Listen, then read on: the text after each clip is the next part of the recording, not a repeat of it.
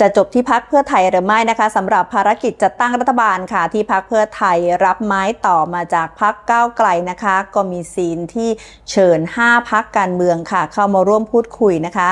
โดยมีพักภูมิใจไทยพักชาติพัฒนากล้ารวมไทยสร้างชาติ ชาติไทยพัฒนาและพลังประชารัฐค่ะ เพื่อเป้าหมายนะคะ ให้ได้เสียงสนับสนุน 375 เสียง ส่งแคนดิเดตนายกรัฐมนตรีของพักเพื่อไทย เป็นนายกรัฐมนตรีคนที่ 30 ค่ะ แม้บรรยากาศจะเป็นไปด้วยมิตรไมตรีนะคะ ชนแก้วมินช็อกกันชื่นมื่นค่ะ แต่เงื่อนไขนะคะ ก็ไม่ได้แตกต่างไปจากนะคะ ท่าทีของสมาชิกวุฒิสภาก่อนหน้านี้เลยก็คือ จะต้องไม่มีพักก้าวไกลค่ะ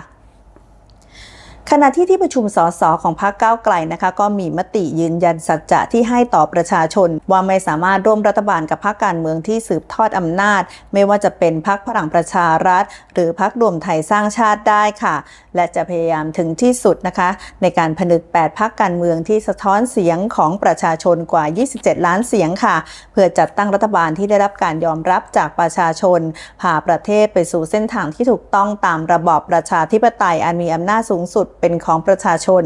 นั่นก็อาจทำให้เส้นทางการจัดตั้งรัฐบาลโดยพรรคเพื่อไทยไม่ราบรื่นนะคะ หากพรรคเพื่อไทยเนี่ยยังคงจับมือกับพรรคก้าวไกลอยู่ อย่างไรก็ตามล่าสุดกลายเป็นประเด็นที่น่าสนใจนะคะ เมื่อคุณหมอชลนานสีแก้วหัวหน้าพรรคเพื่อไทยค่ะไปให้สัมภาษณ์ในรายการเรื่องเล่าเช้านี้นะคะกรณีที่หากพรรคเพื่อไทยค่ะจัดตั้งรัฐบาลไม่ได้นะคะ ในเมื่อเราหมดปัญญาแล้วทำไมไม่ส่งต่อให้คนอื่น คือพรรคอันดับ 3 นั่นหมายความว่าเรายกเสียงข้างมาก เราไปให้เสียงข้างน้อย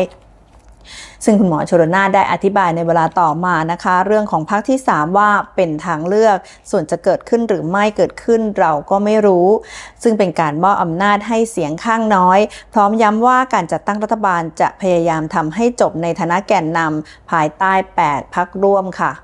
ทางด้านคุณอนุทินชาญวีรกูล หัวหน้าพักภูมิใจไทยนะคะ ซึ่งเป็นพักการเมืองที่มีคะแนนเสียงมากเป็นอันดับที่ 3 ค่ะ คือ 70 เสียงนะคะ ก็ให้ความเห็นกรณีนี้ว่านะคะยังเป็นเรื่องไกลตัวค่ะ หลังเพิ่งหาหรือแลกเปลี่ยนความคิดเห็นกับผู้บริหารจากพระอันดับ 2 ซึ่งบรรยากาศเป็นไปด้วยดีค่ะ ทางนี้ขอให้กำลังใจนะคะพักที่จัดตั้งรัฐบาลก่อนค่ะ ตามมารยาทในการให้เกียรติพักอันดับที่สูงกว่าค่ะพักภูมิใจไทยจะไปหารือกัน ซึ่งพักยังไม่ถึงบทบาทที่ต้องมาคิดเรื่องการจัดตั้งรัฐบาลค่ะ อย่างไรก็ตามนะคะ เห็นว่าไม่ควรปล่อยเวลานานไปจนถึงสวหมดอำนาจ เพราะประเทศต้องมีรัฐบาล คนมาทำงานการเมืองต้องเสียสละยึดบ้านเมืองเป็นหลักค่ะ ต่อมานะคะทีมแอดมินของเพจคุณอนุทินเนี่ยก็ได้โพสต์ข้อความว่ามันยังไม่ใช่เวลาของเรา หากไม่มีอะไรเปลี่ยนแปลงนะคะ เชื่อว่าที่สุดแล้วพักเพื่อไทยจะเลือกผ่าทางตันด้วยการสลับขั้วจัดตั้งรัฐบาล โดยไม่มีพักก้าวไกลนะคะ และก็ลดแรงเสียดทานด้วยการให้คุณหมอชลนานนั้นลาออกจากตำแหน่งหัวหน้าพัก เช่นเดียวกับการเดินตามอภิสิทธิ์โมเดลนะคะ ที่ให้คุณอภิสิทธิ์เวชาชีวะลาออกจากตำแหน่งหัวหน้าพักประชาธิปัตย์หลังการเลือกตั้งปี 2562 นั่นเองค่ะ ท่ามกลางการจับตาความเคลื่อนไหวของผู้ตรวจการแผ่นดินค่ะ ที่ส่งเรื่องให้สารรัฐธรรมนูญนะคะ ตีความกรณีที่ห้ามเสนอชื่อ คุณพิธาริมเจริญรัตในการโหวตเลือกนายกรัฐมนตรีรอบที่2นะคะรวมทั้งขอให้ชะลอการเลือกนายกรัฐมนตรีออกไปก่อนค่ะ